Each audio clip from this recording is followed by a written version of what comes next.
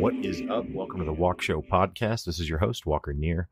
Uh, up front, I want to mention that you can follow me on Twitter at the Walk Show Pod, Instagram and Facebook at the Walk Show. Uh, you can also email me at walker at the walk show podcast.com. Sometimes when I'm talking to people uh, about the show, they'll they'll tell me that they you know wish they could interject into the show and you know join the conversation. Um, well, obviously that's not possible with the pre-recorded interviews. Um, certainly, you're always welcome to to hit me up at any of those places, and, and obviously, if you just know me already, you can hit me up there too. But um, if you hit me up on somewhere like Twitter or something like that, then we might be able to get more people involved in the conversation. Also, if you like the show, please take a moment to like, rate, subscribe, whatever your app lets you do uh, to to to you know rate the show because uh, it helps the show be more discoverable, so so more people can can know about it. Um, I also want to shout out my other podcast, which is called Pick Up Your Sticks, which is co-hosted by myself and multiple time the Walk Show podcast guest Brett Lindley. Um, Pick Up Your Sticks is actually a podcast about video games, uh, but instead of doing reviews or, or, news updates, we discuss why gaming matters. Um, you know, obviously, the Walk Show previously has had some some episodes on gaming, and uh, instead of continuing to kind of sprinkle those in, uh, Brett and I thought it made sense to just kind of start our own thing. So, so that's what we did. So if you like gaming and enjoy, you know, thoughtful conversations about that, then, then it should be right up your alley. Before we move on to today's episode, I do want to talk about something I recently saw. Uh, it's on Netflix. It's called Inside Bill's Brain Decoding Bill Gates. It's actually a, a documentary series. It's, a, I think, three episodes, about an hour long each. Um, and I just found it really, really I, guess inspiring is the right word, or or comforting uh, to some extent. Um, Bill Gates, obviously a very very popular figure, and uh, for a while was kind of a polarizing figure. Although I think that has largely diminished uh, to, at this point. Um, obviously, the, the, founder of Microsoft, and uh, since his departure from Microsoft over a decade ago, he has been fully committed to philanthropy with his Foundation, which is the Bill and Melinda Gates Foundation. Um, and so each episode of this documentary series, it, it you know it, talks about Bill Gates' life kind of as a child, and it, it shows clips from from the early years of Microsoft and, and eventually into the later years of Microsoft. Um, and all of that is kind of mixed throughout. So it's not it's not in chronological order throughout each episode necessarily. Um, so it might start out talking about who Bill Gates was as a kid, and then it might jump to present time. And each episode kind of deals with a different global uh, problem that he is is striving to solve. Um, and the first one, he he is the first episode. He's stri- the problem he's striving to solve is um, the fact that there is not plumbing in most of the undeveloped world, and in places like like let's say India, for example, where maybe you have, and I, I know India has some very developed parts, so I don't mean to imply that, that everywhere there is, is a shanty town, but there are regions at least that are very densely populated and already have all of the the structures the, the homes that people are living in and it's just not really feasible to try and implement a plumbing system that we have like in the united states for example it would take an enormous amount of time and just the cost of it is very prohibitive. And so Bill Gates um, decided to to try and, and solve the problem. And, and, and to, to, clarify further, I guess the problem with not having uh, plumbing is that these people are using the restroom in, in, what's called a pit latrine, which is basically just a hole in the ground. Well, that hole gets disgusting, obviously.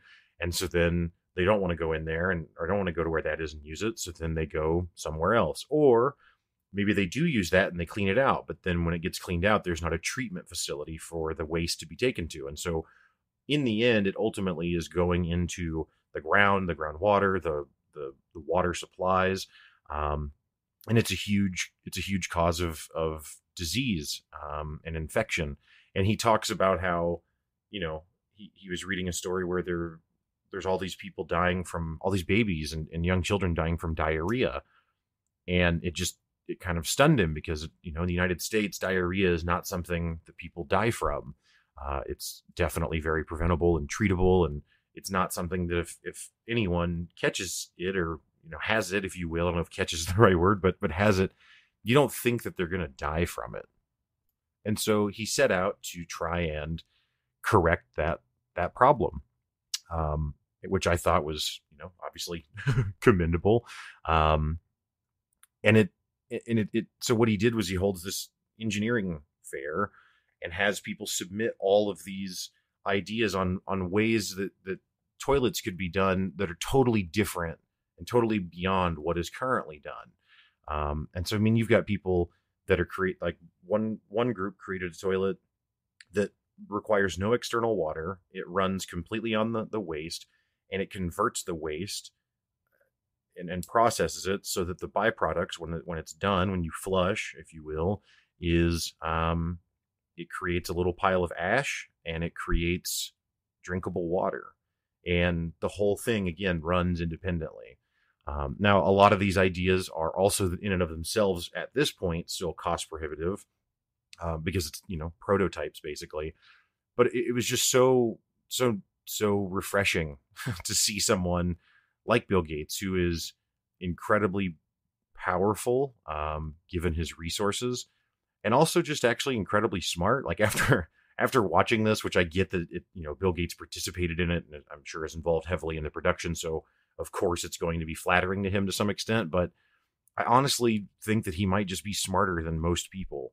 Um, and so anyway, it's just really refreshing to see someone who's that smart and has that many resources committing themselves to really trying to help people and help the world solve problems that shouldn't they don't have they shouldn't be problems anymore because they're not problems in the United States for example. So why does it have to be true only here that, that you don't have to worry about your child getting sick and, and, and not being around anymore because of diarrhea right?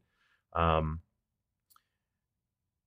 and anyway it was just again it was especially with American politics as it is now. And and I, you know, I I certainly I certainly don't blame Trump for all of the world's problems or something, but and, and honestly, it's not just him. It, you know, whether it's it's him or whether it's the people that are attacking him constantly, like everything is always a catastrophe. Everything is always everything is always bad, but it's always it's always kind of stupid. You know, like it's always petty stuff. It's always insignificant things and it's not it's not someone really leaning into trying to do this do this kind of philanthropy.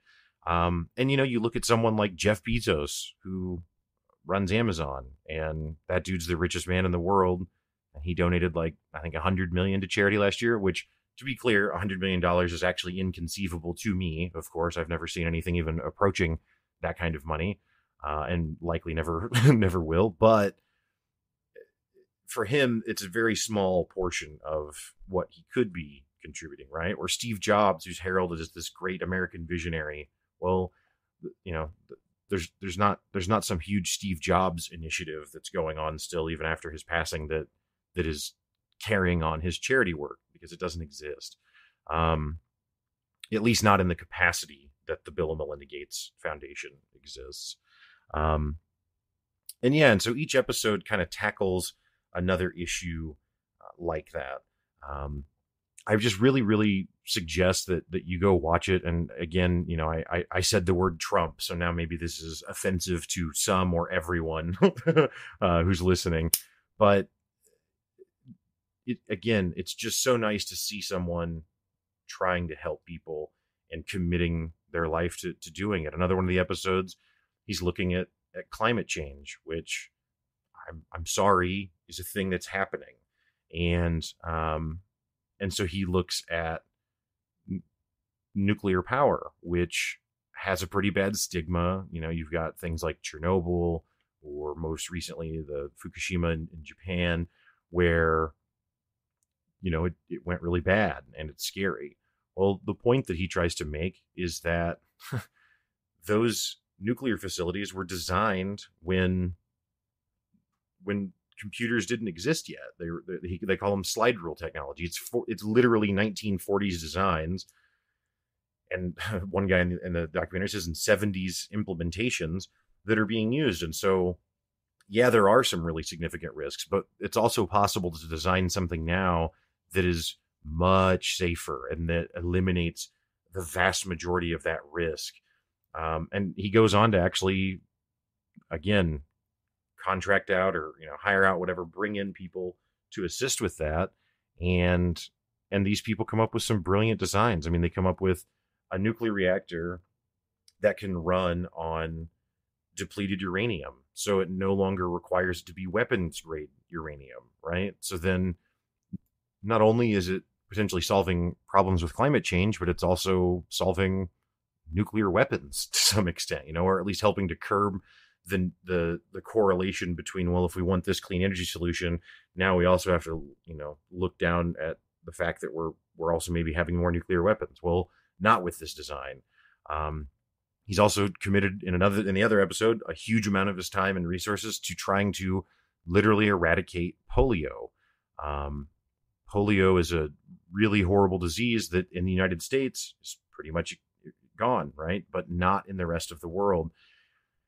And and so it's just again, it's just so cool eh, to see, so refreshing.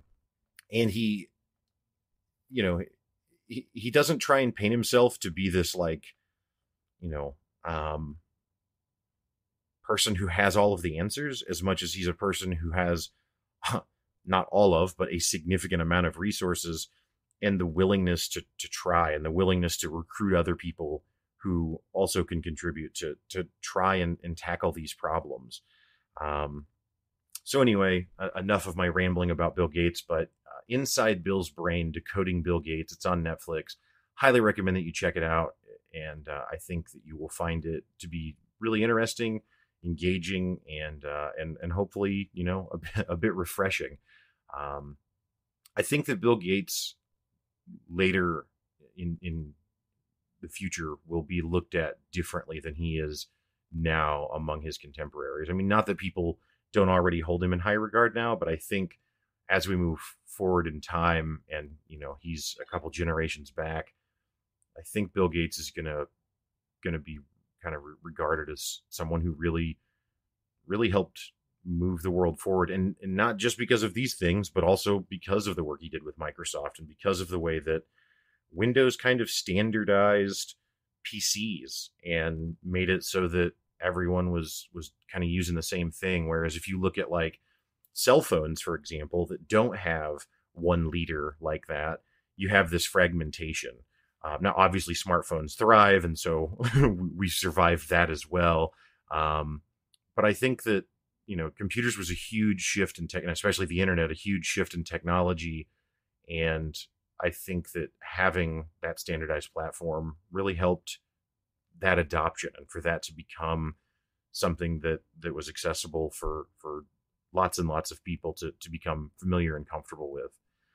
Moving on to today's show. Uh, on today's show, I am joined by Ashley Thomas, who is the owner of the Queen Beyond the Wall, Ashley Thomas Coaching. Um, she is a, a, life coach and uh, and is really just an awesome person and was a lot of fun to talk to. Um, I'm really excited about uh, about our conversation and I think you'll enjoy it. Um, so without further ado, let's jump into it.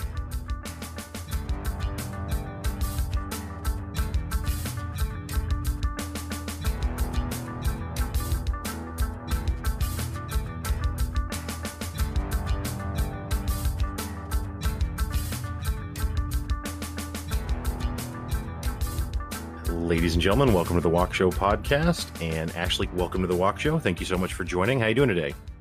I'm doing great. How are you? I'm well. Thank you for asking. Um, so I actually was introduced to you by Stacy Johnson, who was a guest on my show a, a few episodes back. Um, and she runs a, a life coaching business.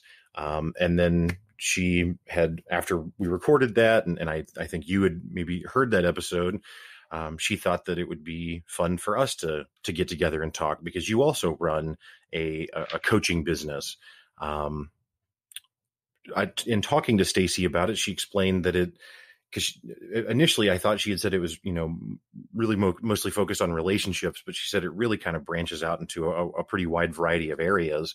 Um, so if you don't mind, just kind of explain what what the business is all about. Right. So coaching, um, life coaching, is someone, a life coach is someone to support you in finding your own answers. So coaches help clients discover what it is they actually want, what's keeping them from getting there, and what they can do to successfully change, motivate, clarify. Um, mm-hmm. They can mm-hmm. provide accountability, which can come in handy um, because sometimes making big, big life changes is challenging. Um, and I specialize. Um, I'm I'm trained in functional medicine, health and wellness coaching, but because of the nature of functional medicine, it's kind of a whole person. So you're not just a, a symptom or a disease or your weight or your blood pressure. You're a whole person with relationships and dreams and people who mean things to you and things you want to do. So that's sort of my area. Gotcha. Well, yeah, that makes that makes a lot of sense. Um, so, uh, you know, I guess actually one question that popped into my mind, and forgive my ignorance, but w- w- how would you define functional medicine, or what is that term meant to imply? Right. So, functional medicine is integrative medicine. It's a philosophy of the practice of medicine where you treat the person and not the symptom, mm. and you treat the the whole person rather than finding a disease, giving a pill, um, and and treating that. You it's also sometimes described as upstream medicine. So okay. it's it's seeks to find the cause, the root cause, rather than just treat the symptom. And it also seeks not just to to treat people when they're in a state of dis-ease, but to prevent it because it's easier to prevent than to treat. Um, and also, it seeks to not focus so much on just disease and not even on health, but vibrant health, um, mm. vibrant health and well being. And that's emotional, mental, spiritual, physical health and well being. So that's what functional medicine does. Okay. So yeah, another question that I had kind of had, but I think maybe you you just answered, but we'll see if I if I understood or not. Um, I was going to say, so you know, how would you how would you I guess compare and contrast coaching to versus like you know a, a, a counselor that you would see at like a mental health kind of place? But it sounds like even that is is more focused on just kind of one thing whereas what you're offering with the functional medicine and not just you i'm sure there's you know obviously there's lots of people that are involved in it but um but it, it it's looking like you just said at the whole picture so if i let's say i came to you and i was depressed well maybe if i'm talking to a counselor they're just going to try and explore emotionally why i feel that the way i do but with functional medicine you know that might be a part of it but then perhaps i have a physical thing like maybe i'm you know which i am overweight for example. So then maybe maybe you would find reasons that that is also contributing to the depression or, or something along those lines. Does that make sense at all as an example or? Yes that's that's definitely a part of it. Um, and sometimes the tools that a that a coach and a therapist use overlap mm. um, but but what they do is different. So um, a therapist is trained to deal with um, mental illnesses, um, and a coach takes people who are not necessarily they're not necessarily treating a, a mental illness. Um, they're helping them achieve their best life. So you can see how those things can overlap. Mm-hmm. And a, a, coach and a therapist can uh, both be working with a client. If someone does have, um, say, clinical depression and they need a trained therapist, um, or if they have an actual eating disorder and they need a therapist, um, that can be done in conjunction with coaching. Um, and then you can have the coach for sort of accountability, um, checking in, and the, the trained therapist to deal with more serious issues.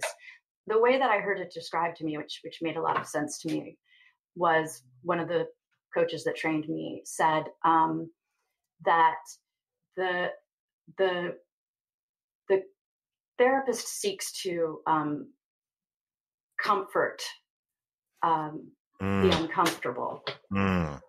and therapists seek to make the comfortable uncomfortable. So, sort of like if you're training for a marathon, your trainer is going to, you know, push you a little and it's, it's that sort of a dynamic. Right. So the, the, so, so the, the therapist is trying to make the, the uncomfortable comfortable, whereas the coach really is trying to maybe take someone out of their comfort zone and, and help them overcome something that they're uncomfortable with by kind of diving in or exposing them to that, whatever that thing is. Right. That's exactly it and gotcha. yeah you definitely have it and yeah for so for someone who is is on a weight loss journey um that that's something that a, a coach would would definitely also be able to talk about emotional eating or triggers or um, another thing about coaching that's slightly different from some forms of therapy although therapy has been moving in this direction is um, coaching is present and future focused right mm. you create a vision and you create the steps to the vision. And, and by you, I mean the client does that. It's sure, client centered. Sure. Um, and so there's there's not so much delving into maybe childhood issues, childhood traumas. That I really I really feel that might be more of the domain of a, a trained therapist rather than, sure. a, than a coach. Yeah, that that makes a lot of sense. Um, and you know certainly i'm neither therapist nor or coach so i don't mean to uh, act like that but um i think that there's you know certainly there are a lot of not that any of it's illegitimate but there there are a lot of things that probably do require that more specialized kind of almost medical approach to it.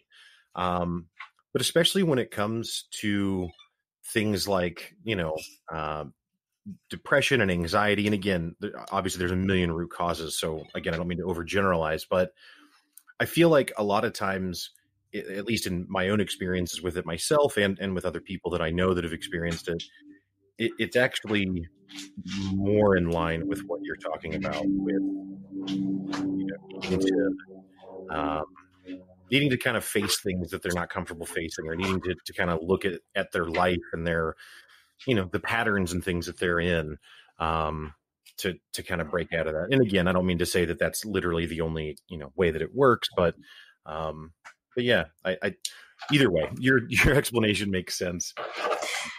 Yeah, the coaching is also, you know, and and it's also being deeply listened to, which mm. I think is one of the tools that overlaps. It's and people don't get that a lot this day and age. And I think that is something that you do as someone who interviews people. You listen deeply.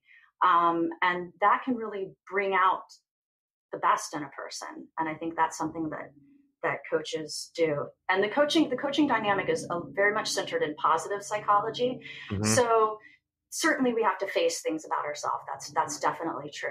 But sometimes um, we're blind to what we're doing right. Sure. So that's something a coach can reflect back to you. Um, yeah, you stuck to your plan and you you you exercised. You said you were going to do three times a week. You did two. That's two more than last week. Congratulations. Right. Yeah. No. That that's a that's a really excellent point and something that um that I think is lost sight of a lot is the the the the value of of, of positive reinforcement. You know, um, the way that we that everyone universally agrees that you should train dogs, but right. people don't apply that to people, even though right you know. people need treats too. Yeah, right, right. yeah, no, that's fair. Um, so how did you kind of, or yeah, how how did you kind of just you know find that this was kind of your path to to to start helping people out and this kind of stuff? How did you kind of fall into this? Well, I I've always been sort of a seeker. I've always been a seeker. Um, and I'm interested in deep conversations and um, people's values and what really motivates people. Mm-hmm. Um, and so I, I did, you know, study a lot of positive psychology and um, and also I have my um, I have my bachelor's degree in comparative religion. So mm. that that sort of taking in what different cultures hold as valuable um, spirituality because that's a that's an important part of the whole person if you're if you're helping the whole person um, what what is their belief system what what comforts them um, and that's how that's one of the things that i would just read about and be interested in in my free time Um, and then I found functional medicine mm-hmm. because I wanted to help people be. It, it's hard to be your best self, um, be a loving parent, or a, a, you know have a great career if you're sick, if you don't feel right. Well. Right. And so I guess to sum it up, I I wanted to lead my best life, and I looked into it and learned a lot about it over the years. And then I felt the call to really help other people lead their best life. And then I trained with um, the Functional Medicine Coaching Academy and became a functional medicine certified health coach. And that gave me the, the sort of the, the, the background to, to hone in on, on health and wellness. Yeah. And so have, have you always worked at like led your own, I don't know if it's called a practice like it is for a doctor's office, but have you always led your own thing or have you worked with other, other coaches in, in the business or? So far, um, it's been my own practice, just me. I am now trained to work with other functional medicine providers. So doctors who practice functional medicine mm-hmm. will um, will work with a functional medicine um, certified health coach. They'll they send their their clients to them, their patients to them, and because they know that I'm trained in the philosophy. And you know, these days when you go to the doctor and they don't have the traditional doctors don't really have much time to spend they right. have maybe five minutes per patient, I think mm-hmm. was the mm-hmm. last. Um, functional medicine places a high priority on gathering the patient's story. That's when you mm-hmm. make sense of it. That's when you find the root causes. So they use coaches to check in, continue a dialogue, discover more information. Um, and that's what really gives the quality of care. So that is huh. something I'm looking into, but I haven't done it yet. Well, that's really interesting. Um, and yeah, I was going to ask that earlier when you were talking about kind of the the overlaps between, you know, again, kind of a traditional therapist or counselor versus a coach. Have you ever had that kind of relationship with a counselor or coach with a particular patient where you were able to collaborate and kind of, you know, double team, uh, trying to help help somebody? That's that I've done that with um with some of my coursework, but I oh. haven't I haven't done that yet. Um, I graduated in September. Oh, okay. So I am looking forward to doing that. I, I have certain clients who, because I am not trained to practice medicine, so if I am working closely with a client and and they're talking about supplements and things like that, I always refer them, make sure they're seeing a doctor, even if it isn't a functional medicine doctor, and making sure they're running everything by their doctor and that so that there's some oversight there. Right. And that's gone well. I've not I've not had, you know, that's that's been a workable system so far. Nutritionist mm. also would be someone I would work with because I'm not also not not going to do a, a you know calculated diet plan. Right, right. No, that makes sense.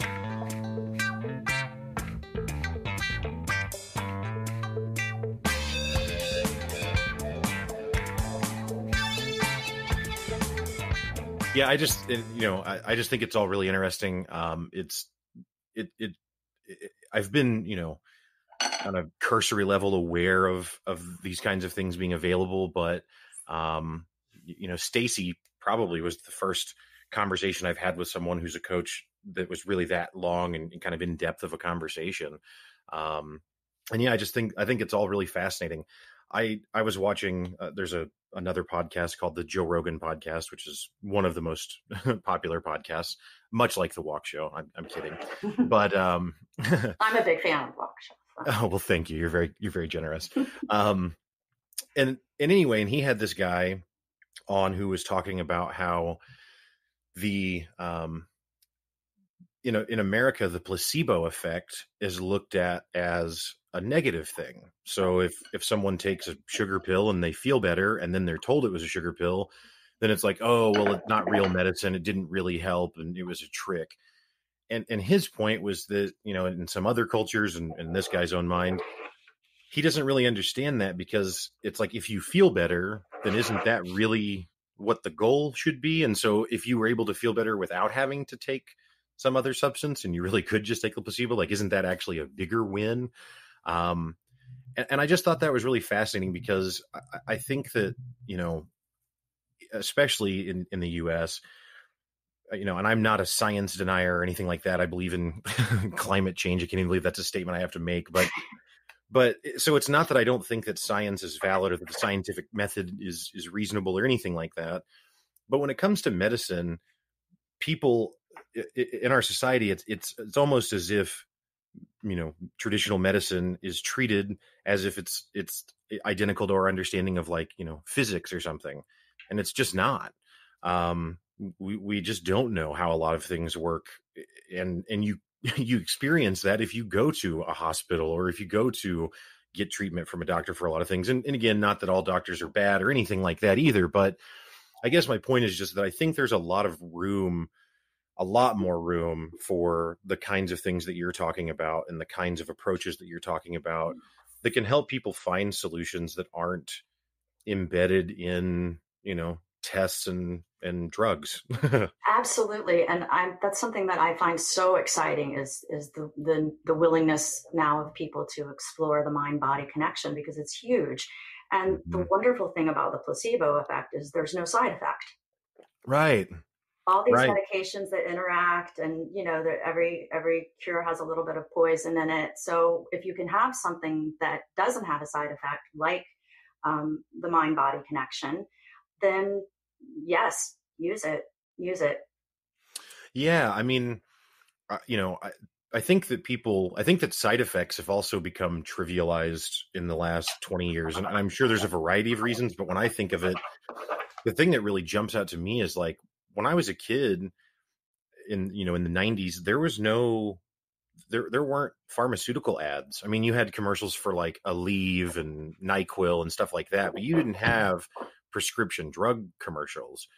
And now that you know, I don't actually know what the share is, but it feels like it's you know two thirds of the ads on on TV are for prescription drugs that you have to ask your doctor about, and then they rattle off a hundred side effects that some of them sound awful, but they do it in a really fast, kind of low tone voice, and and I think that it's kind of conditioned people to not really consider those things. And you know, I, I have someone very close to me that was on a, a variety of medicines, um, or uh, dare we call them that, drugs, um, for for for you know trying to deal with depression and anxiety and, and some other things like that. And and this person eventually felt like they had, I mean, was diagnosed with having neuropathy. Uh, had terrible balance, had horrible pain in their legs all the time, uh, had insane vision issues where their vision would just start scrolling and it actually turned out that that and and again you know we were going to doctors for it and everything and and then once we actually got uh, off of those medications all of those symptoms went away like turns out not doesn't have neuropathy turns out can balance. Turns out doesn't have crazy scrolling vision issues. And and we would have never guessed and certainly no medical professional ever suggested that maybe this was a complication of those drugs. Um, but after witnessing that i i am now very skeptical of drugs Agreed. Um, because you just you know again that's my point is like people act like it's this hard science that where everything is already defined and it's not you know it's a it's a lot of guessing it is, and science is valuable, and functional medicine doctors are doctors, um, right? But also, they take in, take into consideration that as far as science goes, you you can't really possibly test every single drug for every single interaction with with a combination of different drugs. It's it's too much. Mm-hmm. Um, and people are individuals, and this is something that's often forgotten. Um, people react differently to different kinds of medications. So um, yeah, and the forgotten element, which is one of the, the things that I, I have a passion for, is food. So if yes. I remember my statistics, I think doctors get four hours of nutrition training in their medical career. right? That's insane. yeah. So and now with with they're learning so much about how important gut health is. Um, mm-hmm and the, the role it plays in not just like digestive problems or but also um, also something like some things like depression um, and anxiety um, and that leaky gut syndrome can cause a host of, of problems in, in that don't that wouldn't seem to be related to the gut it's not a digestive problem and they're just now sort of catching on to that. It's and it's very important stuff to to go with the the the easiest thing that will have the least side effects, very impactful, and looking at each individual as a as a, a unique person, um, not a number in some test. Yeah, yeah, I think that you know that's something that I've always been kind of keenly aware of. Um, you know, my mom is a type one diabetic and and also a dietitian for her career. So, you know, very very focused on nutrition, both you know personally and professionally.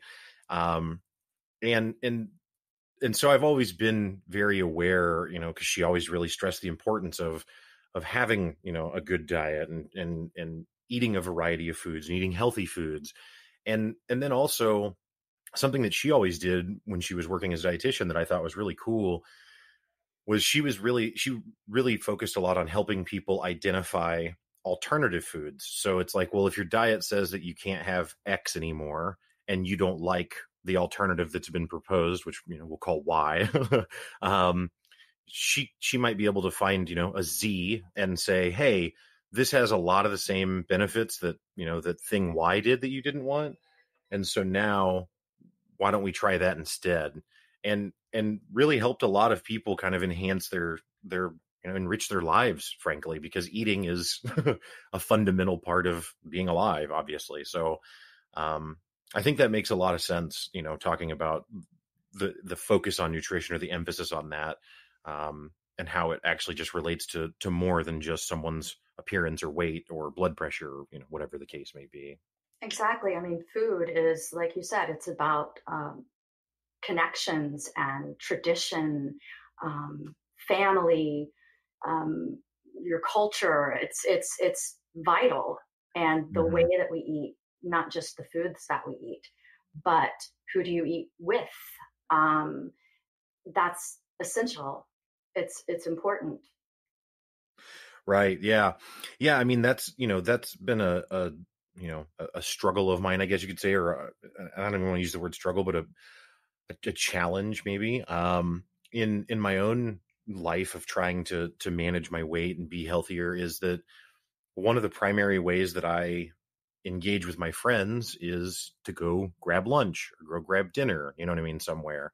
And, you know, certainly there are definitely now more choices than ever, but it, it can be challenging to find, you know, healthy food when you go out to eat. I mean, you know, it seems like almost everything is cooked in oil and served with rice and noodles or bread or whatever, you know what I mean? And um and so yeah, you're right. It is it, it is important not just because we need it to literally survive, but also because it does have all these other tie-ins to social connections and and, and things like that, like you were just saying. Yeah, eating out can be challenging and yeah, it's recreational too and you're strongly influenced by your social group. It's really hard to to buck the trend when you're with a group of friends and you have a certain way that they all eat. It's it's difficult to be different. And i like what you were saying about your mom um, providing alternatives. I think that's really really key because it's it's not so much about cutting out right? That's, right. You know, nature loathes a vacuum, right? So it's not even about stopping a bad habit. A really good way to stop a bad habit is to replace it with a positive habit rather than so rather than focusing on what you're cutting out, what you're not eating, where you're not going. Um, you add something that's helpful and and you sort of push out and don't leave room for what you're trying to leave behind. Yeah, that's really that's a really interesting point. Uh, it, so I just recently finished reading this book called The Power of Habit, and I, I talked about it a bit last week. I heard the episode. podcast on that. Yeah, I like that. Well, yeah. So in in in that then, and I don't know how much I I talked about this specific point, but um, in the book it, it it makes that exact point that you just did. That it's like the habits have to like the, the the most effective way. Like you can certainly develop a new habit but the old habit doesn't ever actually go away. And so really the the best way or the most effective way if possible is to exactly what you just said identify what the trigger is identify what the reward is and then whatever that habit is in the middle that's taking you from trigger to reward find a way to turn that into something that's that's positive so that it's not this detrimental thing and then you're not you know you're not trying to swim upstream trying to change these behaviors all the time exactly um, exactly and you can fo- you can be more focused on um, on something positive rather than on feelings of like loss or, or deprivation. Right. So um you live in the in the new england area is that correct? I live in uh, i live in new york i live in brooklyn. New york. Oh yeah. okay. yeah. And so do you do you primarily work with people local to that area? I guess not, because why would I ask that? You work with Stacy, and I know that she doesn't live in Brooklyn. right. That's one of the wonderful things about this um, about this job that I love is that I can work with people from all over, um, and it's you know technology these days makes it very easy. And I um, I let people choose what form of communication they're most comfortable with. Um, and lots of people seem to to like the good old fashioned phone call. So that's what I've been doing most of my coaching on. Gotcha. Yeah. Yeah. I feel like, um, I mean, you know, certainly in the modern age, you know, it's more common even among close friends and family members to text way more than a call.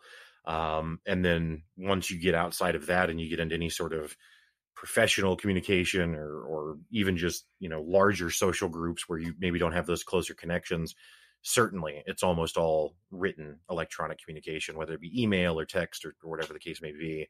Right. Um, and it there, and, and you know, I certainly participate in that world as well. I mean, you and I texted and emailed before you know we re- recorded, so not that I think that it's an evil thing or that it doesn't work, but there is certainly a lot of nuance lost in in the written communication that's that's just you know not there um and so that makes sense that that talking talk being able to talk to people uh, is really kind of the the the way that you're able to accomplish that well i think that human connection is mm-hmm. part of what people are missing these days too and mm-hmm. th- that that feeling of being deeply heard and listened to and just feeling someone being present for you um, i use text and email of course in between sessions um, to check in see how things are are progressing for support um, and the my client will set up the parameters of how they want to do that. Maybe they want to show me they a photo of their meal. That's one of their accountability steps that they take. Um,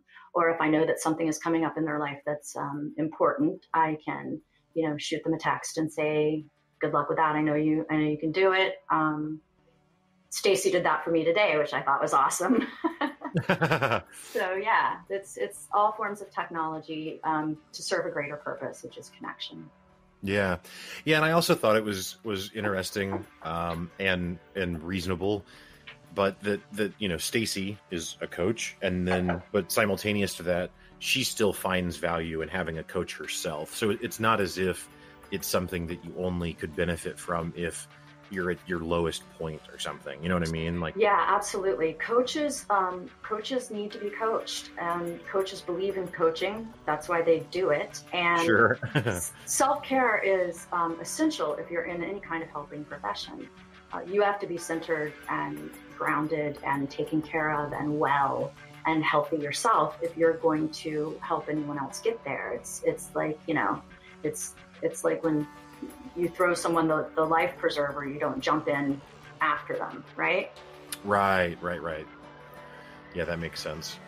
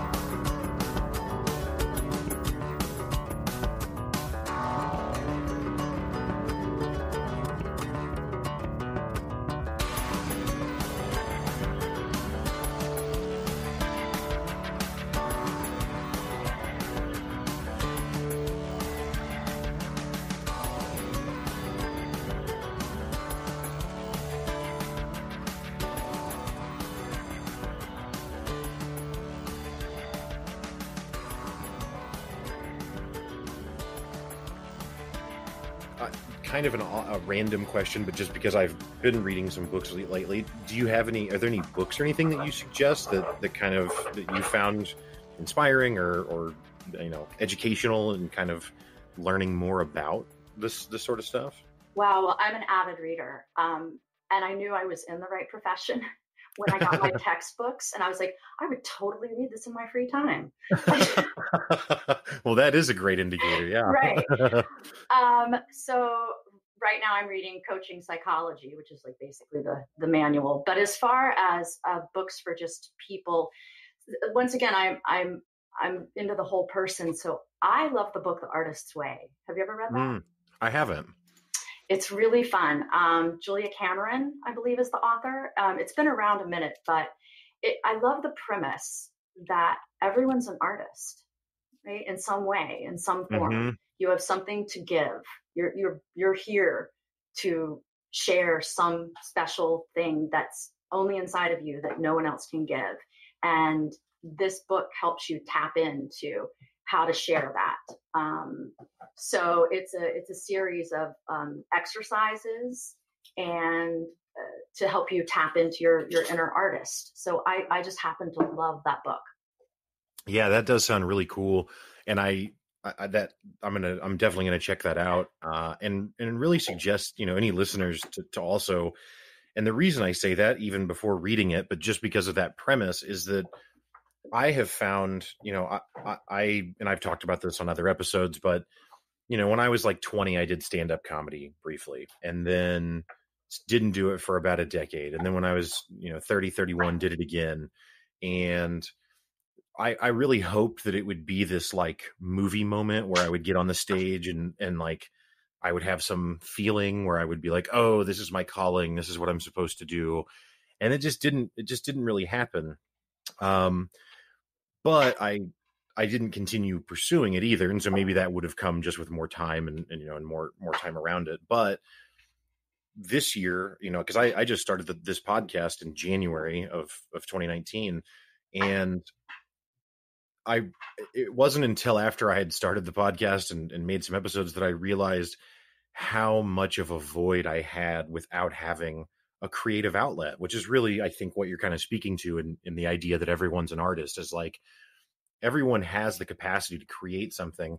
And to be frank, I mean, even if my podcast never becomes the Joe Rogan podcast, even if it's never at the top of the charts, I don't really care. I mean, I think that would be great and it would be cool if I could do it, you know, full time or something. But even if not, um, it's just been a really, really rewarding experience to to have this creative outlet.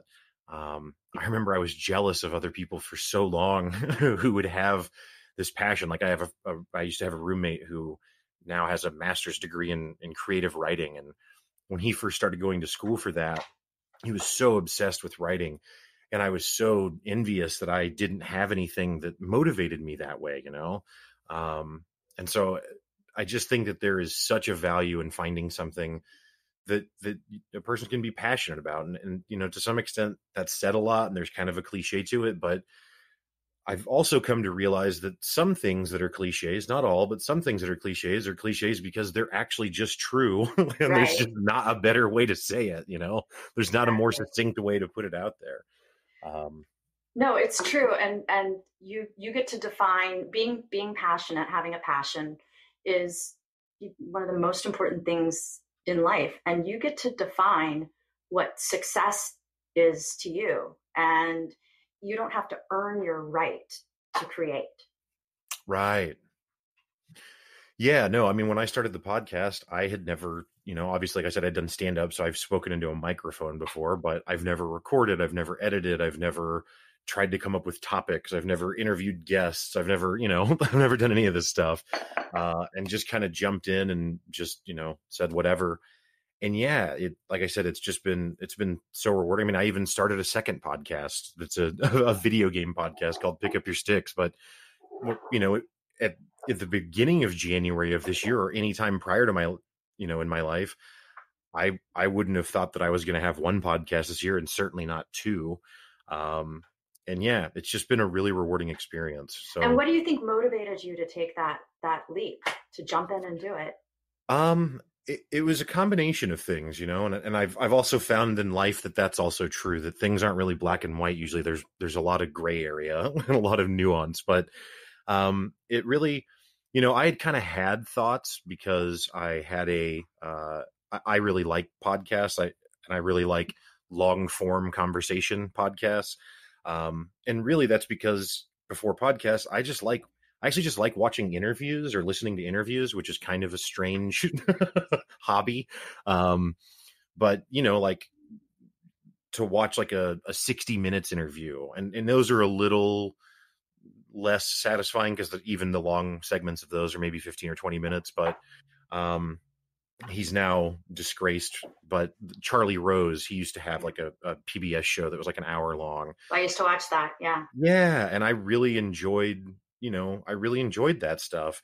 And so I kind of had it in my head, but I was like, well, I don't know what I would talk about because I'm I'm not an expert on anything, so I'm not like teaching anyone stuff, and I don't have a business to promote. A lot of podcasts are kind of a almost a, like a marketing tool to promote, you know, another line of business that already exists. Um, and and so I just didn't really know what I would what I would do.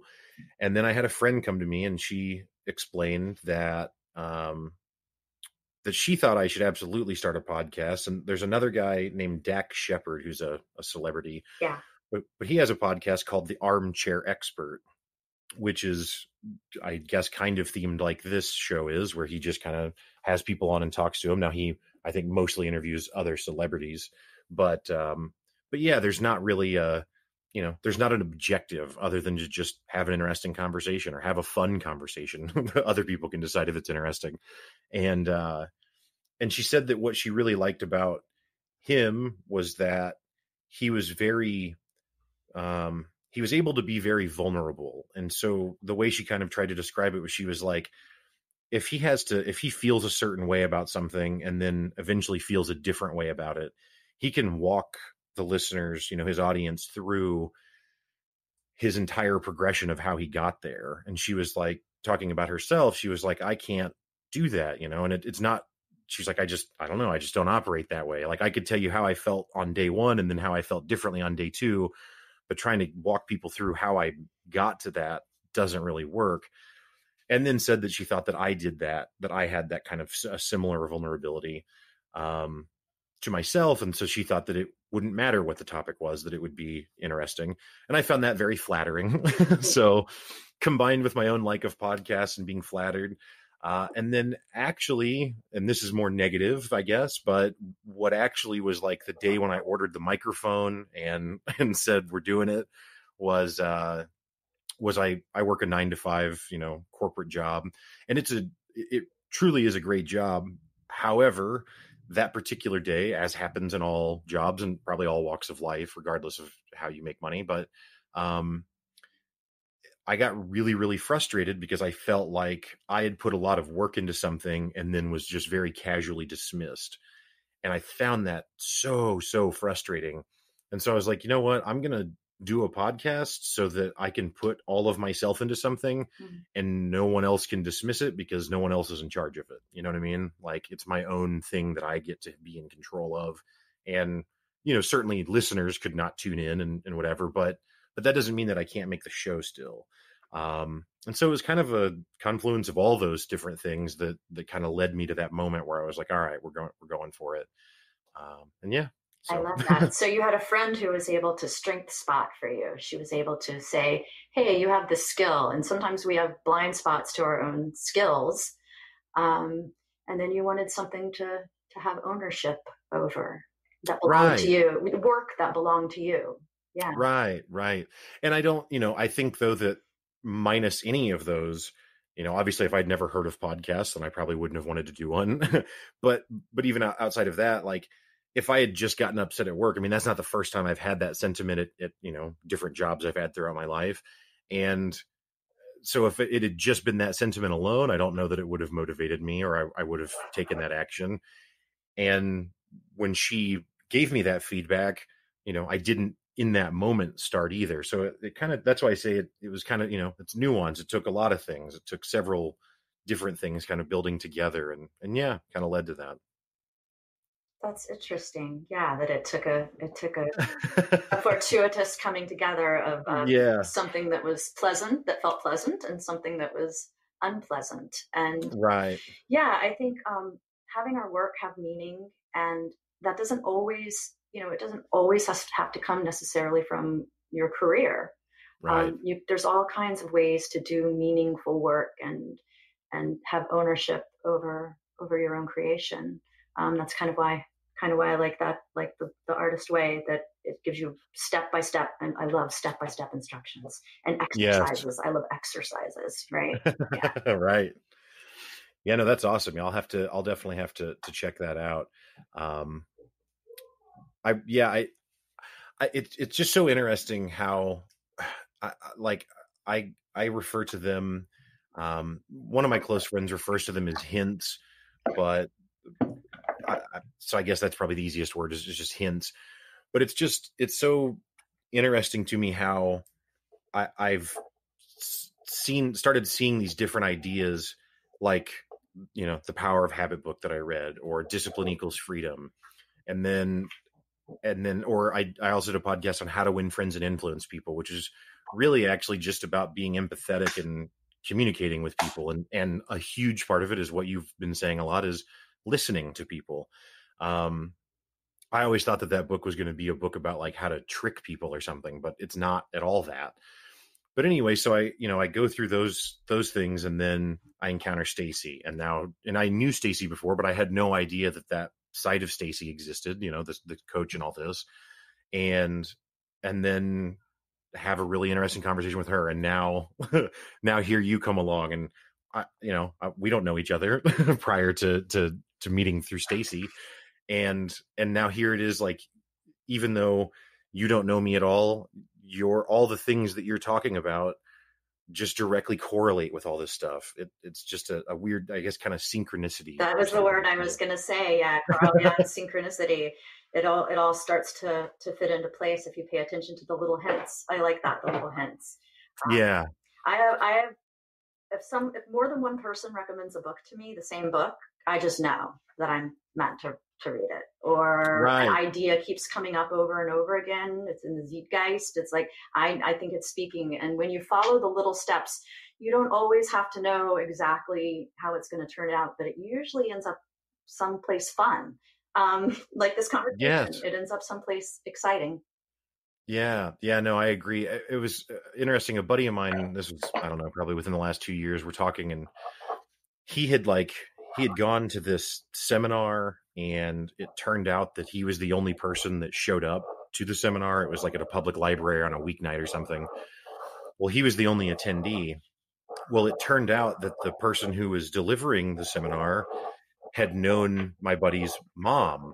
And so this guy actually knew my buddy when he was a little kid. Oh, wow and so then he starts talking to the guy and explains who he is and then the guy is really excited because of course he remembers you know his mom and remembers him when he was a little little boy and and it and then you know now instead of having a seminar that was this prepared thing since he was the only one he just got to sit down and have a conversation with this guy and just talk to this this person who was the presenter and and he was telling me about it and he was he was like it feels like it was like set up or something you know like it feels like a like a movie you know like it yeah. like it feels and he was like but i know that that's not he's like i don't i don't intellectually actually think that there's some force guiding me or whatever.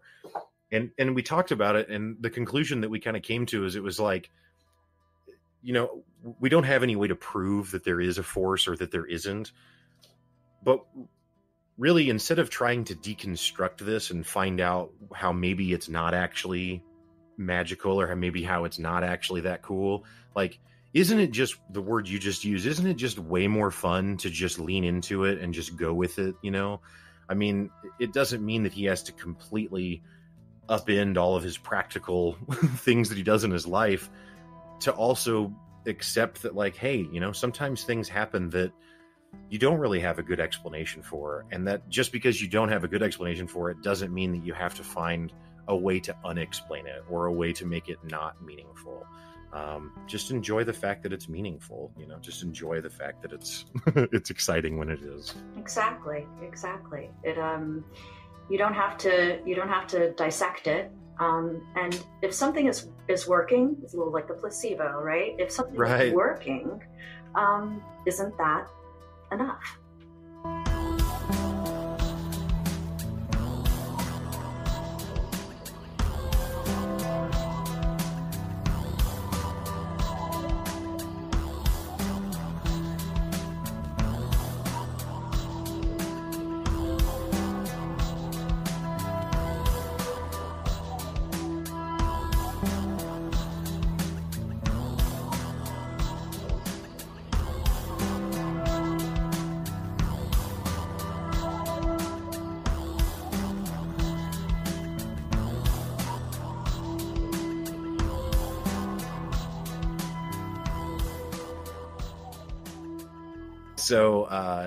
What is the what is the name of, of your business?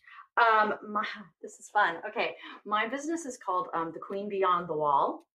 So Ashley Thomas Coaching, um, and the reason that I picked that was um, I I want to help people connect with a grander vision of themselves. So mm. walls can be they can make you feel safe you can get comfortable behind them. Um, but sometimes there comes a point when you want to move beyond the blocks um, and the limitations that maybe you don't even remember how it got built or what you were keeping in or keeping out, right? And it's mm-hmm. time to move on. And sometimes you need some help to move beyond the walls. And the person that you meet out there. I deal a lot with women. That's my niche is women who in transition. So women going through divorce or a, a layoff, career change, empty nest that want um, to use that experience to level up to their best self. So the queen beyond the wall is the metaphor for the you you you have inside your your ultimate self that you're looking to become. That's awesome. Um, and so if if people were wanting to like reach out to you to maybe see if if you would be a good fit to, to be a coach for them, how would they go about reaching out to you? I have a Facebook business page, um, and it's at Ashley Thomas Coaching, and they can see uh, read a little bit about that philosophy. Um, there's going to be a guided meditation um, to connect with the the Queen beyond the wall. So you you can sort of imagine yourself as her and then take the steps to create it. Oh, okay. That's cool. Yeah, that's something that I had never really um had never really done was meditation and have started doing that in the last few months and yeah, there's just tremendous value to it. Uh I was I've been very surprised at how which I don't know why I'm surprised there's you know millions of people that do it daily. So it's, it's, it's not like I just found out about it or something, but uh, but I did just kind of discover it for myself, I guess you could say. So right, you're doing the practice. What is your practice like? Um, you mean as far as like what do I actually do when I meditate? Sure, yeah. Yeah, I mean, I I usually just try and and you know cut the lights out or whatever, and and just be in a comfortable position. And I really actually don't do a, a mantra or anything. Um, I've done ones like that, but anymore, I find that I really just try and focus on my breathing and just focus on, you know, breathing in and, and taking a large deep breath and then, you know, focusing on the exhale. And, and anytime my mind wanders, you know, it, it certainly happens a lot. I'm not, I'm no monk. Um, but I will then try and kind of like that's what I use to kind of recenter the mind and get back get back to the the the space, if you will, is just to go back to focusing on the breathing. So a, a thought comes in, and sometimes it's entertained for way longer than I meant for it to be, uh, and then I'll catch myself, and then you know back to the the center, if you will, of of just the the in and out breathing. I love that. So you're doing a you're doing a mindfulness practice. Oh, um, oh, okay. Yeah, and and the practice is the practice. So yes, the mind is going to wander and bringing it back. That's that's meditation, and that's that's really it's really all it is. Um, and it gives you it creates a little space, right? A little space between the thoughts, um, mm-hmm. and that's where the magic is. Which also sort of comes into when you were talking about habit. and I mm-hmm. forget mm-hmm. how you described it, but you were talking about um, the the sort of the the trigger, the cue. Mm-hmm. When the mindfulness meditation is going to give uh, give you lots of um, space practice at stopping and noticing the cue or the trigger because that's sort of what mindfulness is. You notice that you're getting triggered or you notice that um, you have a craving. Um, right. yeah. Uh, which so there's a book you might like too that's on my favorite list um, called mindfulness and character strengths. Um, and that was one that i that was that i read for school as well and it is i'm trying to see if i can find who wrote it but um, that's that's ties in some of the benefits of uh, meditation practice and and strengthening um, finding your key strengths and tapping into them with mindfulness uh, it's it's a really powerful book yeah well and that's so yeah mindfulness and character strengths is what you said the name of that is? Mm-hmm. Okay. Well, yeah, I'll look it up after our show, and I'll I'll I'll make sure and include a link to that, and as well as the artist's way in the show notes, so anyone that's interested can can have a link to go pick it up. It's by um, Ryan Niemiec. Okay. N I E M I E C. Alrighty.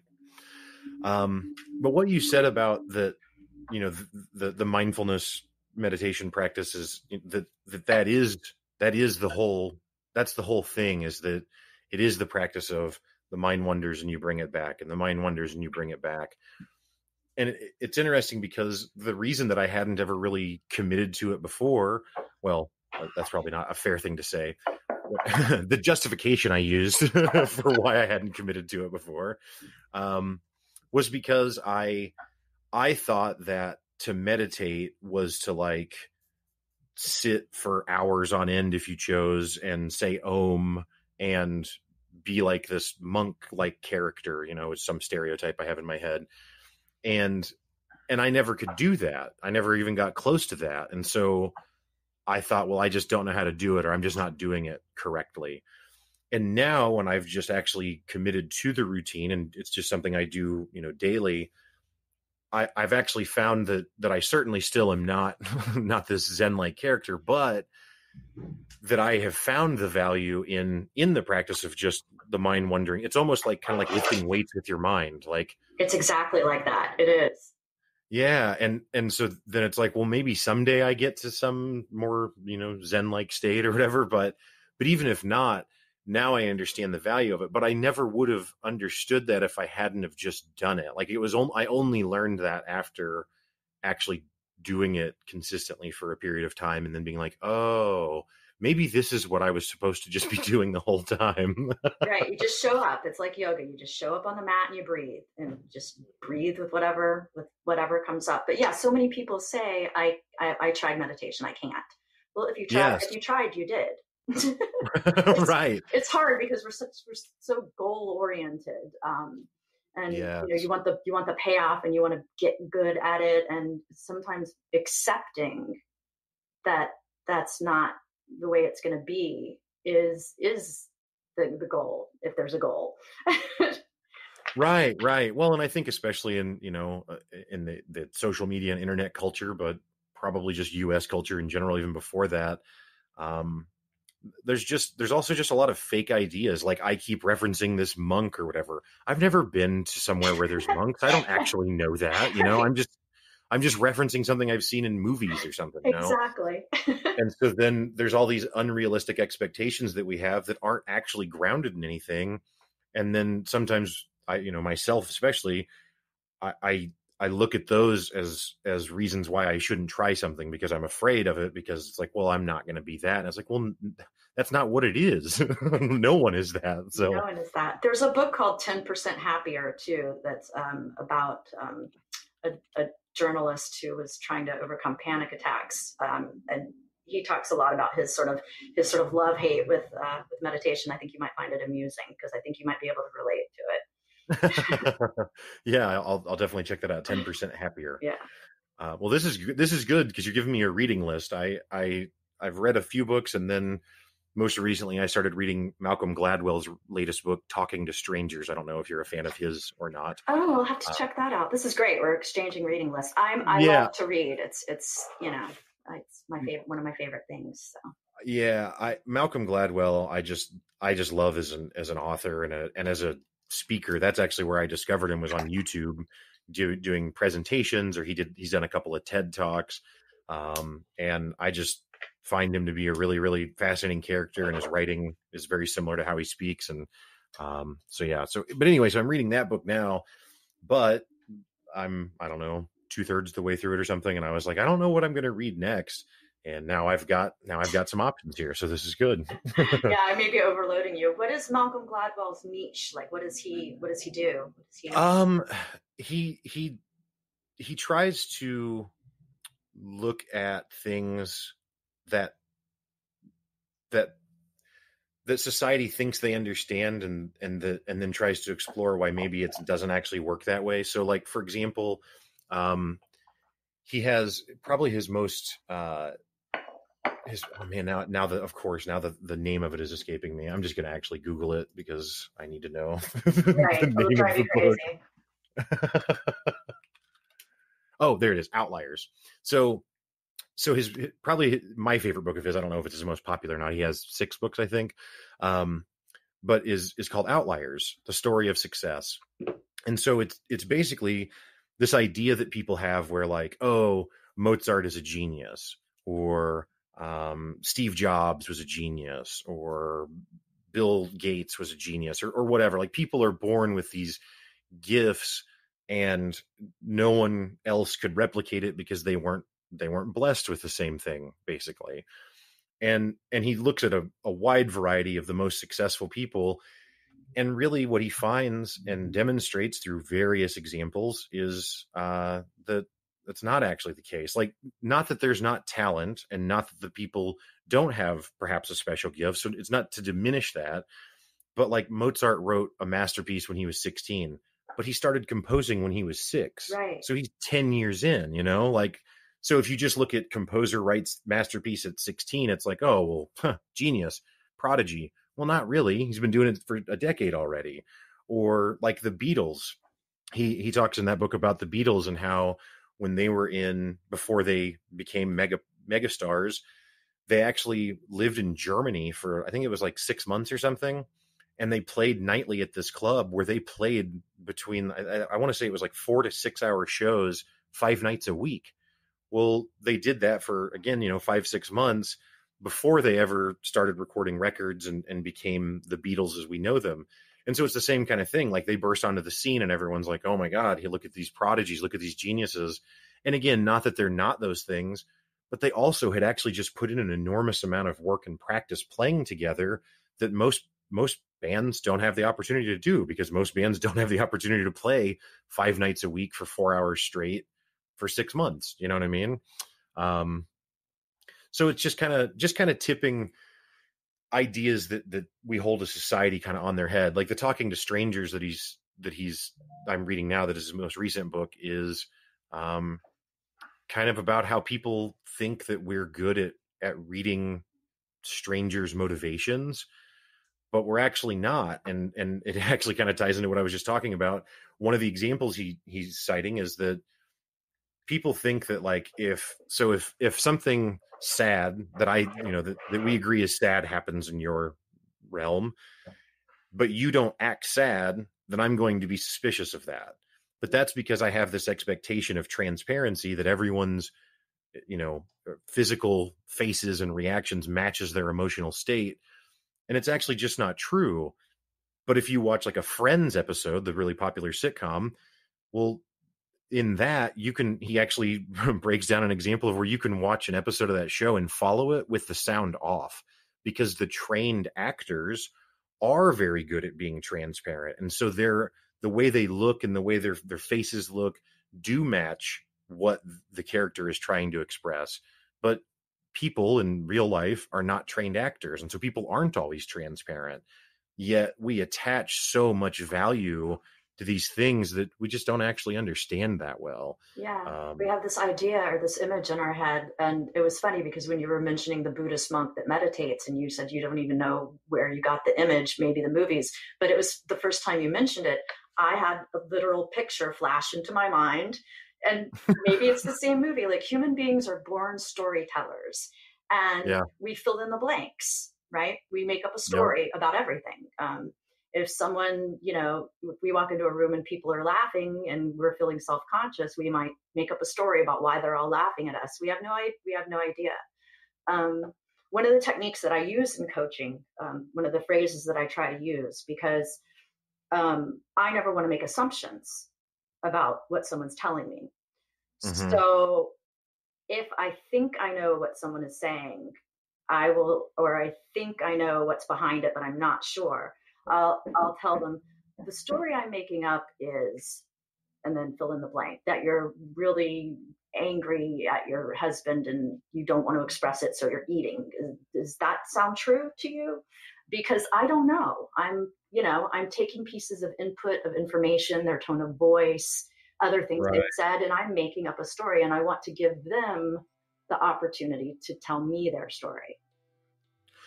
Yeah, yeah, no, that yeah, that makes that makes a lot of sense. Um, yeah, I I I highly would would recommend uh, Malcolm Gladwell. He's he's all of his books are are that kind of idea, and he actually also has a podcast which I would recommend listening to uh, third after the walk show and, and pick up your stick. Um, um, but it's called revisionist history, and it's exactly the same thing. He's going and looking at old events in history and then and how it's perceived and then trying to understand like is that really what happened or is that really what we're looking at? Um, and you know the answer is always no. That's not what really happened or that's not really how it actually played out. Um, well i have really really enjoyed speaking with you and i really really enjoy uh, the the work that you're doing and just learning about this and finding out about it. Um, so again ashley thomas and the queen beyond the wall ashley thomas coaching um, you can be found on Facebook at Ashley Thomas Coaching, uh, and there's a guided meditation there. Um, and yeah, you know, if, if anyone you know listens to this and, and maybe isn't on Facebook or something, you know, if, they can always got... email me at um, okay. the Queen Beyond the Wall at gmail.com. Okay. Love hearing from people. Awesome. Um, well, that is perfect because I was going to say if if someone didn't have Facebook, they could email me, and I would be happy to reach out to you on their behalf and get you guys in touch. So, uh, but I won't have to to play middleman. They're welcome to just reach out to you directly at the queen beyond the wall at gmail.com. Right. No, you're going to be busy. You have a lot of books to read. this is true. This is true. Um, well, again, Ashley, thank you so much for, for taking the time to join the show. Was there anything else that, that we hadn't gotten to that you wanted to cover? This was so much fun. Thank you for having me. Um, no, I think we, we, we went all around, didn't we? We got, we got in a lot. So that was great. awesome. You're lovely to talk to. Awesome. Well, thank you. You're very generous. I appreciate it. Uh, we'll see you next time. All right.